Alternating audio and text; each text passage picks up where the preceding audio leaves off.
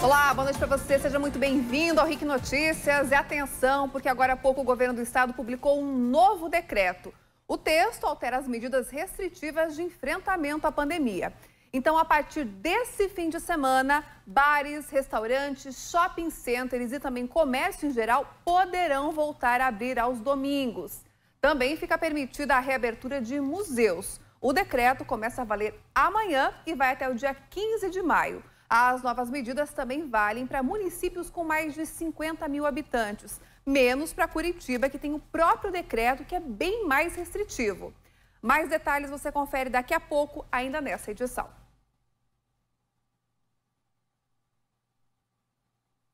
A gente vai conferir agora outros destaques da edição de hoje do RIC Notícias.